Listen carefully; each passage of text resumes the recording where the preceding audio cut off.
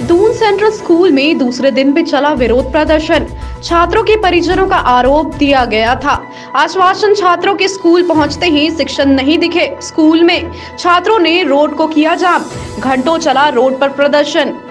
बड़ा बाज़ार थाना पुलिस के आकर रोड जाम को हटाया गया। बताया जाता है कि सिमरा रेस्ट हाउस चौक स्थित दून सेंट्रल स्कूल के छात्रों के द्वारा प्री बोर्ड के आधार पर छात्रों को नंबर नहीं दिए जाने को लेकर दूसरे दिन रोड पर विरोध प्रदर्शन किया गया, जहाँ छात्र और छात्राओं के द्वारा नारेबाजी भी की गई और वाहनों का आवागमन भी घंटों तक बाधित किया गया। और फिर वहीं छात्र और उनके परिजनों के द्वारा यह बोला गया कि प्रिंसिपल के द्वारा दिए गए आश्वासन के बाद भी किसी तरह का कोई जवाब नहीं मिला। और फिर गार्जियन के द्वारा बड़ा बाज़ार थाने में स्कूल के रवैया को लेकर आवेदन दिया गया। और जैसा कि यह भी बोला गया कि हम अपने छात्रों के उज्जवल भविष्य को बिगड़ता देखकर चुप नहीं बैठेंगे। विधायक मनीष जायसवाल से भी मिलकर अपनी आप बीती बताएँगे। और ऐसा ही चलता रहा तो स्कूल के द्वारा दी गई इतने कम नंबरों में हमारे बच्चों का एडमिशन अच्छे कॉलेजों में कैसे होगा? आइए अब देखते हैं छात्र और उनके परिजनों के द्वारा विरोध प्रदर्शन के बाद शिक्षा मंत्री क्या कुछ संज्ञान लेते हैं? हजारीबाग से सोनू केसरी की रिपोर्ट।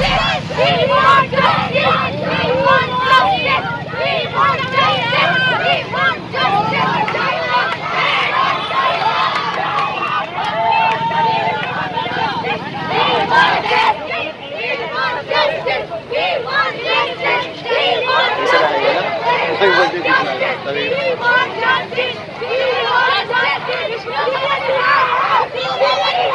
सीबीएसई वालों ने हमारा नंबर बहुत कम दिया।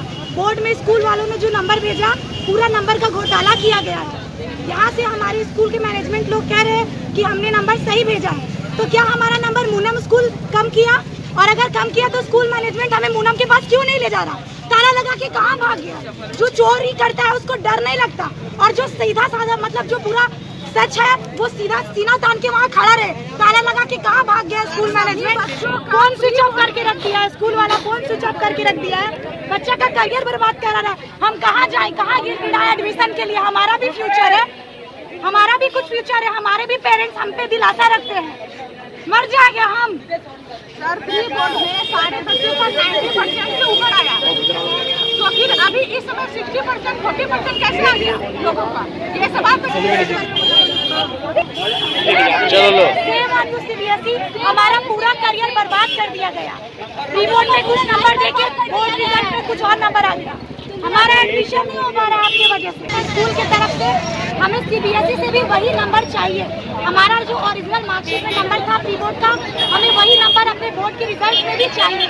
और हम यही मांग कर रहे हैं। और अगर ऐसा नहीं हुआ तो हम तब तक धरना देंगे तब तक हम लोग स्ट्राइक करेंगे बस कल भी स्कूल के बाहर कुछ प्रदर्शन की हो आज कर रहे हो। स्कूल की ओर से क्या कुछ बोला गया है? स्कूल की ओर से बोला गया है कि आप लोग फिर से एग्ज़ाम दें हम लोग फिर से एग्ज़ाम दे सकते हैं पर क्या आप पर क्या आप जिस दिन एग्ज़ाम देंगे उसी दिन रिज़ल्ट दीजिएगा। आप एग्ज़ाम का डेट निकालिएगा फिर हम लोग एग्ज़ाम लिखने सेंटर में जाएँगे। थर्ड वेव कोविड का आ रहा है। अगर हमें कोरोना पॉजिटिव हो गया तो क्या आप रिस्क रिस्क लीजिएगा? हम लोग अभी एटीन ईयर्स के भी नहीं हुआ वैक्सीन दे सकें आप लोग हमारे करियर के साथ हमारे हेल्थ के साथ हमारे मेंटल स्टेट के साथ खिलवाड़ करते हैं। हुई है और क्या मांग कर रहे हैं? समस्या ये है कि प्री बोर्ड में सारे बच्चों का रिज़ल्ट 90 परसेंट में ऊपर आया है। लेकिन जब सीबीएसई का रिज़ल्ट आया है तो उसमें 60 परसेंट से 70 परसेंट से ऊपर किसी का नहीं आया। है बताइए, किस कॉलेज में लोग का एडमिशन होगा? क्या ये लोग का फ्यूचर बर्बाद नहीं हुआ है? क्या जॉब मिलेगा सिक्सटी सेवेंटी परसेंट से?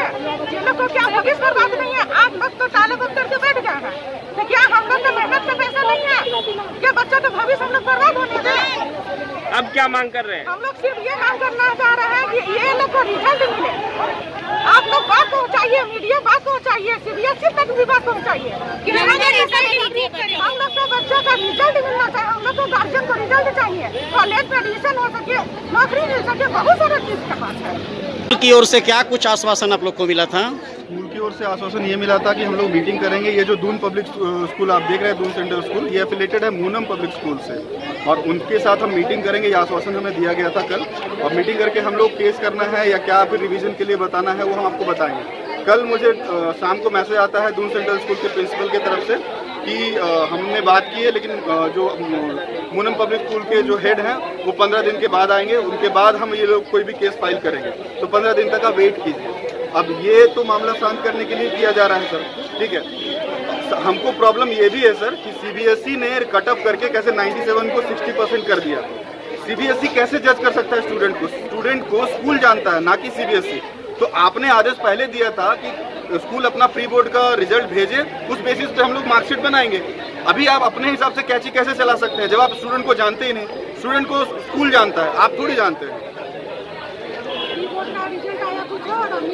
अभी 97 परसेंट प्री बोर्ड का रिज़ल्ट था सर ठीक है? और आया है 62 परसेंट स्टूडेंट का। कट ऑफ़ कोई भी कॉलेज का पकड़ लीजिए, हजारीबाग में 65 से ऊपर है। तो हम बच्चों का एडमिशन करवाए तो करवाए कैसे? हमारा प्रॉब्लम ये है मार्क्स नहीं है सर बेसिस आप तो कम से कम डिसाइड कीजिए, या तो कटअप नीचे करवा दीजिए कम से कम, या फिर हमारे स्टूडेंट का मार्क्स तो बढ़ाइए। अब मार्क्स बढ़ाने के लिए नहीं बोल रहे हैं, जो मेरिट स्टूडेंट है, उनका मार्क्स बढ़ाने बोल रहे हैं। 97 का 60 परसेंट कैसे जस्टिफाइड है, आप ये बताइए।